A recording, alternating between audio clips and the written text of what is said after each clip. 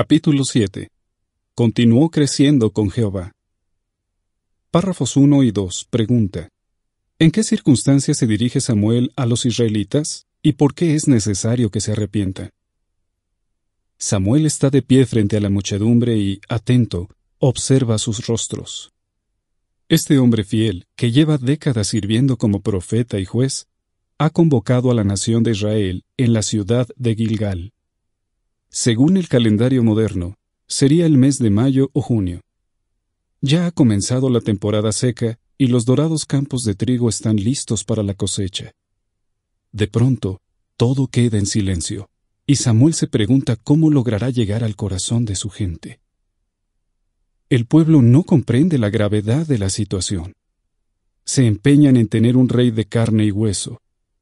No entienden que esta petición supone una descarada falta de respeto a Jehová y a su profeta.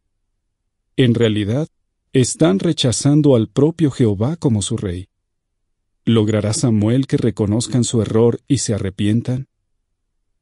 Párrafos 3 y 4. Pregunta A. ¿Por qué hizo referencia Samuel a su juventud? Pregunta B. ¿Por qué puede sernos útil analizar el ejemplo de Samuel? Al dirigirse a la multitud, el profeta dice, He envejecido y encanecido. Su cabello blanco infunde respeto y da más peso a sus palabras. Luego añade, He andado delante de ustedes desde mi juventud hasta este día. Primero de Samuel 12:2. Aunque han pasado muchos años, sus días de juventud aún están frescos en su memoria. Gracias a las decisiones que tomó cuando era un muchacho, ha llegado a ser un hombre de fe, un fiel siervo de Dios.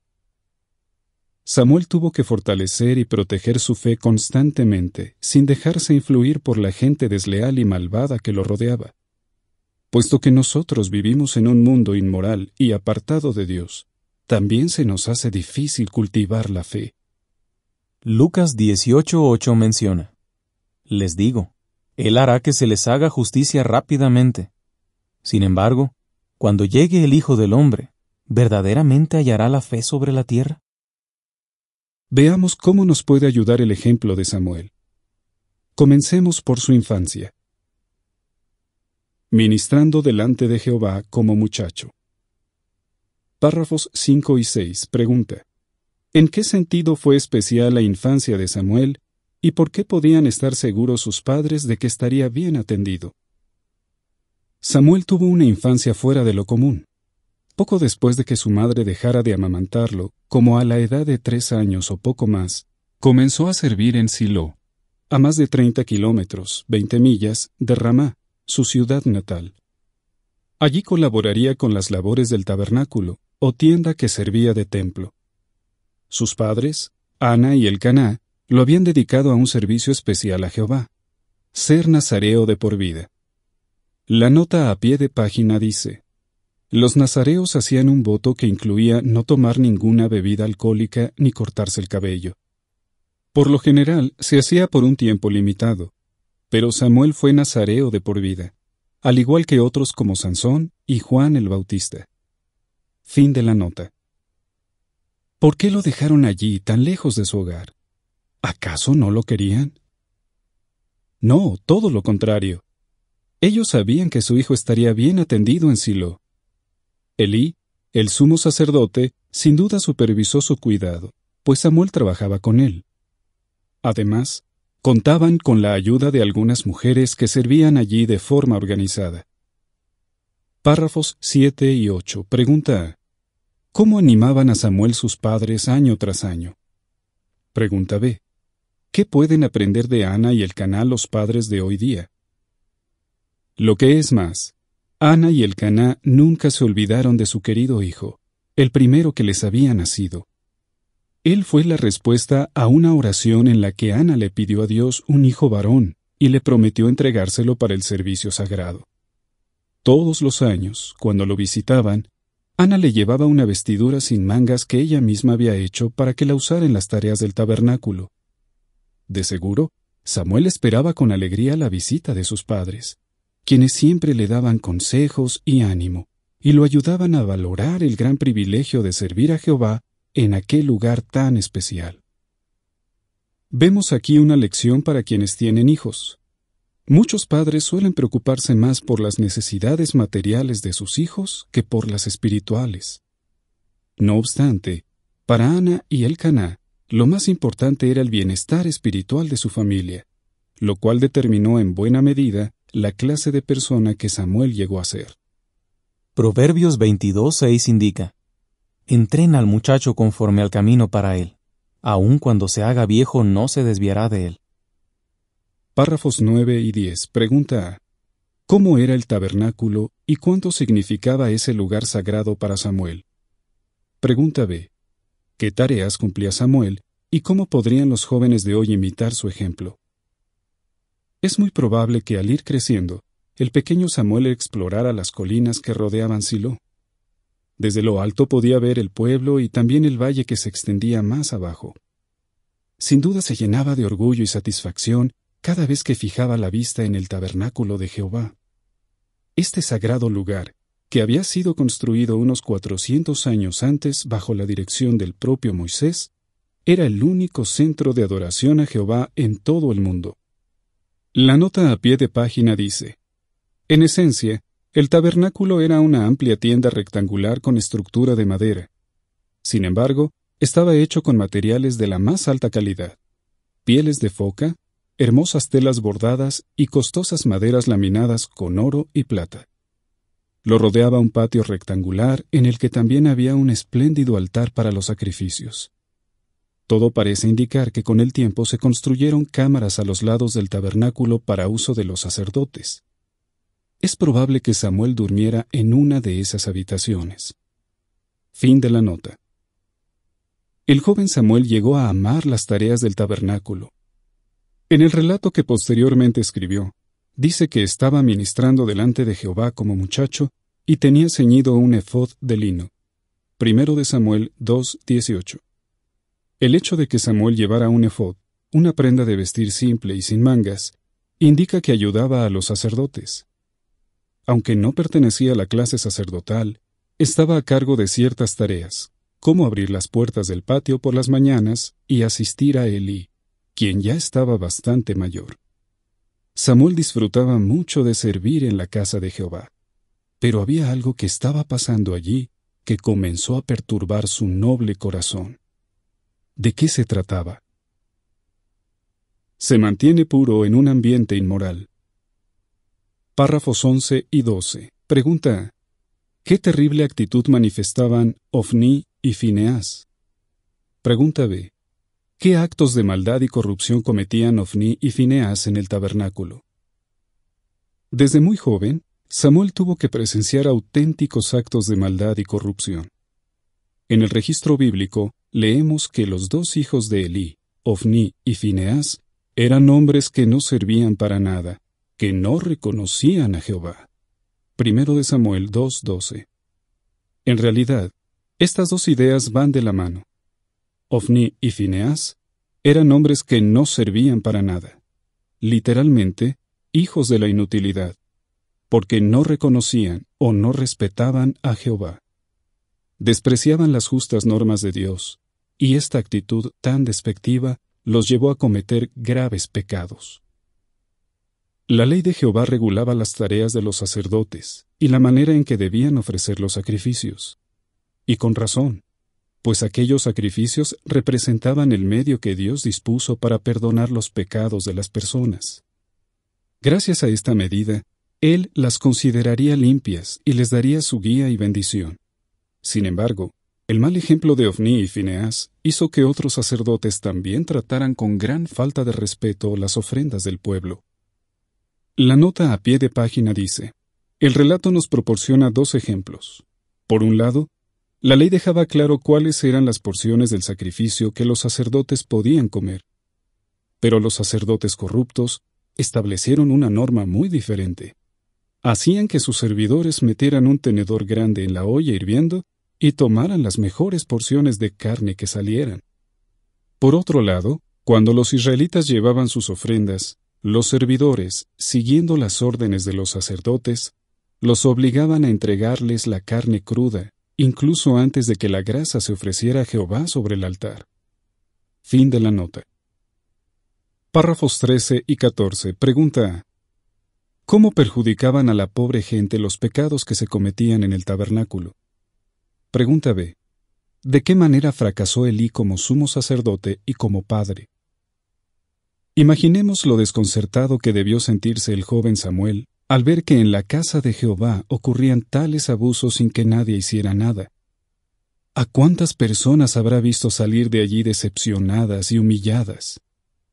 En muchos casos se trataba de gente pobre, humilde y oprimida que había acudido en busca de consuelo y fortaleza espiritual. Y para colmo, más tarde se enteró de que Ofni y Fineas tenían relaciones con algunas de las mujeres que servían a la entrada del tabernáculo. Aquellos desvergonzados no sentían el más mínimo respeto por las leyes divinas sobre la moralidad sexual.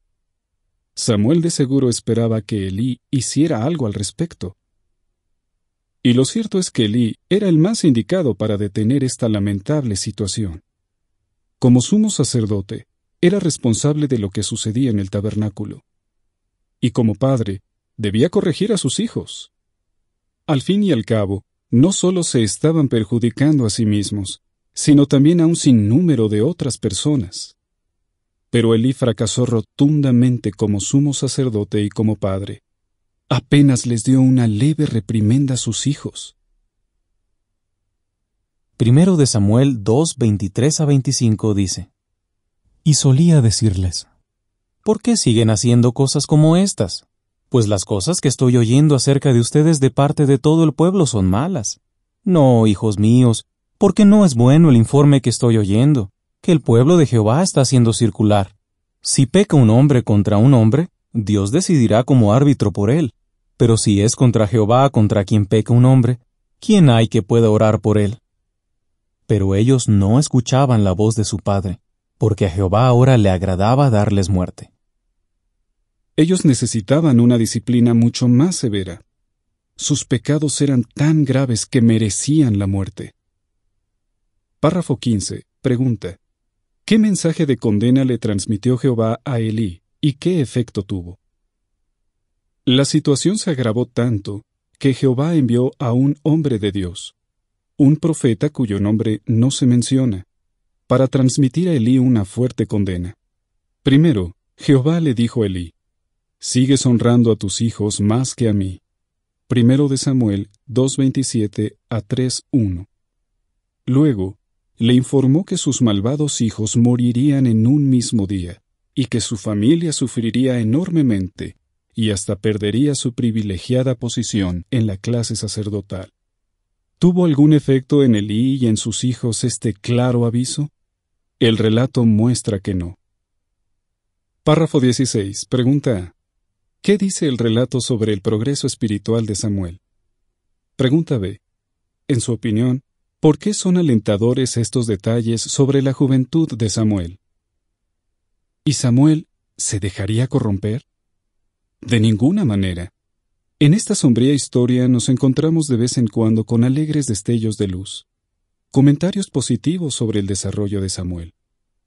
Recordemos que en 1 de Samuel 2.18 leímos que, en medio de todo esto, él siguió ministrando delante de Jehová como muchacho.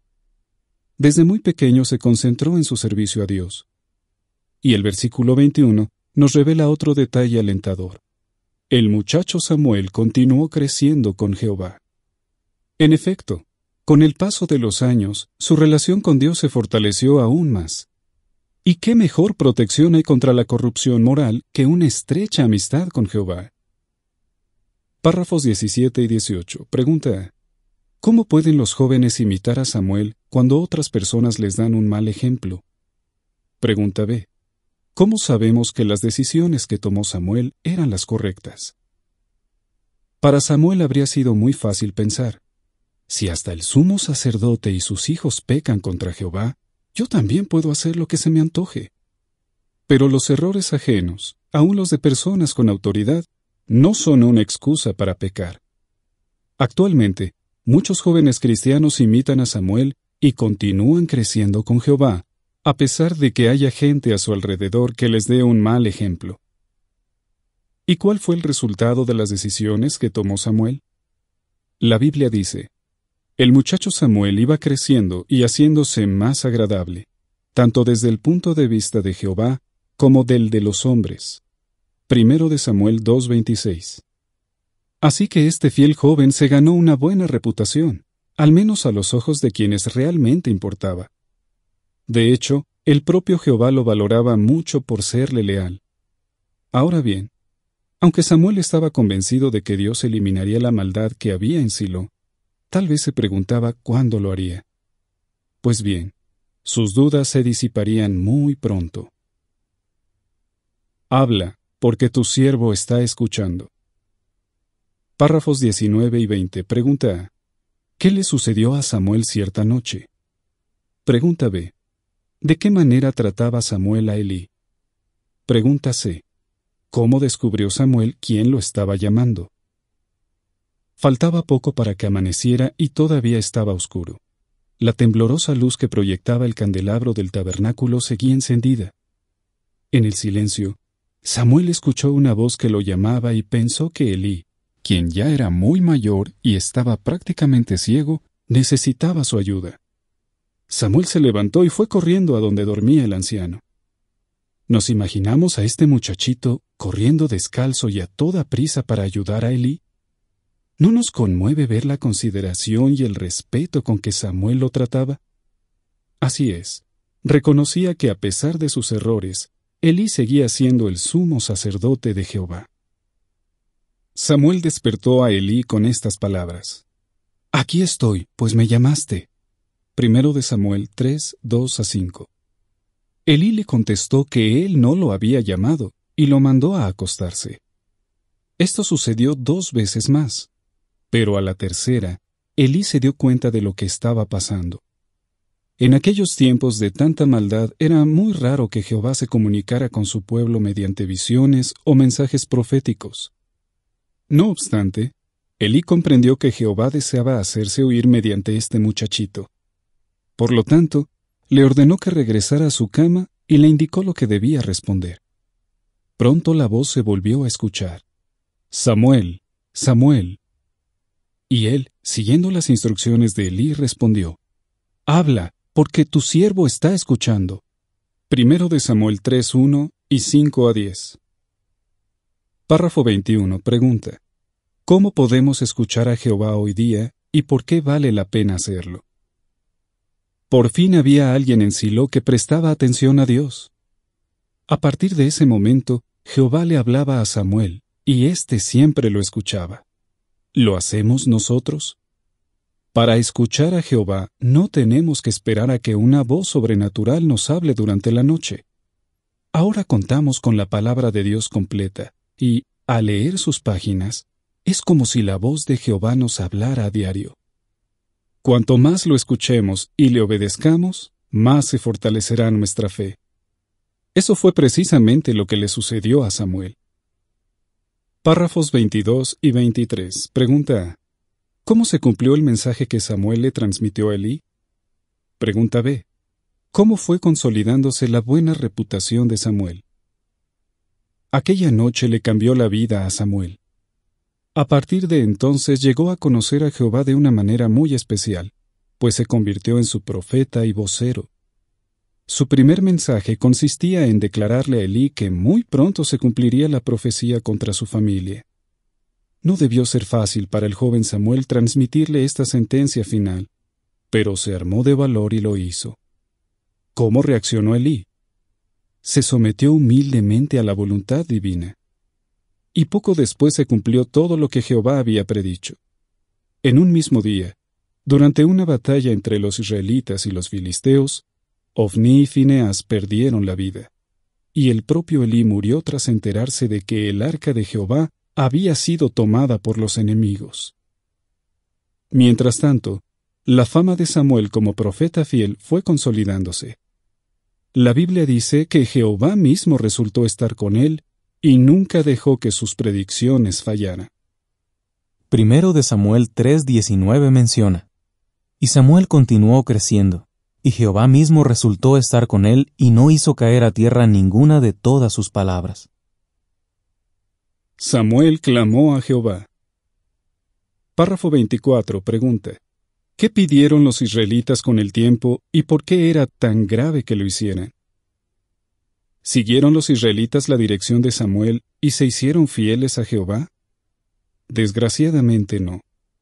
Llegó el momento en que el pueblo no se conformó con que un simple profeta los dirigiera. Querían un rey, como las demás naciones. Samuel accedió a su petición después de que Dios se lo ordenara. Sin embargo, tenía que advertirles de la gravedad de aquel pecado. No lo estaban rechazando a él, un simple hombre, sino a Jehová mismo. Así que convocó al pueblo en la ciudad de Gilgal. Párrafos 25 y 26 pregunta. ¿Cómo ayudó Samuel al pueblo a darse cuenta de la gravedad de su pecado? Trasladémonos de nuevo a ese momento tan importante. Allí está Samuel frente a la multitud reunida. Se respira tensión en el ambiente. El profeta, ya mayor, comienza a hablarles de la fe e integridad que ha caracterizado su vida. Entonces, clama a Jehová y le pide que envíe una tormenta. Primero de Samuel 12, 17 y 18. ¿Una tormenta en plena temporada seca? Eso es impensable. Pero pronto, desaparece todo posible rastro de incredulidad o burla entre los presentes. De repente, el cielo se cubre de oscuros nubarrones, y un fuerte viento azota los campos de trigo. Se escuchan truenos ensordecedores y, finalmente, rompe a llover. ¿Cómo reacciona el pueblo? Siente un gran temor de Jehová y de Samuel. Primero de Samuel 12, 18 y 19 por fin se dan cuenta de la gravedad de su pecado. Párrafo 27 pregunta. ¿Cómo trata Jehová a quienes imitan la fe de Samuel? Con este milagro, Jehová respondió al ruego de su fiel profeta y llegó al corazón de aquel pueblo rebelde. Y lo cierto es que siempre bendijo la fe que Samuel mostró en él, desde su infancia hasta su vejez.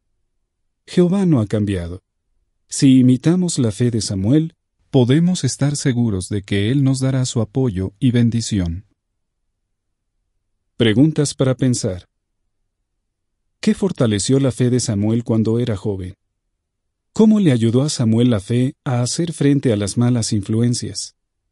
¿Cómo le ayudó a Samuel su fe a superar el miedo? ¿En qué campos le gustaría a usted tener la fe de Samuel?